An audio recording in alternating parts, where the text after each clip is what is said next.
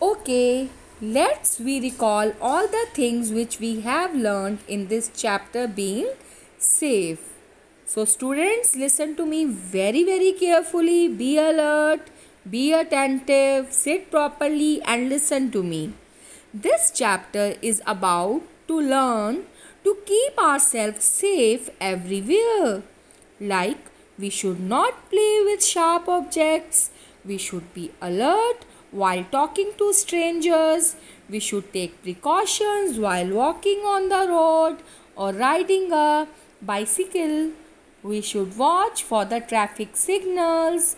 We should not take out our hands or heads from the moving bus or car. We should be cautious while playing in the playground and wear all safety equipment. So students you should be very careful. You should take care of yourself and your home. Okay? Thank you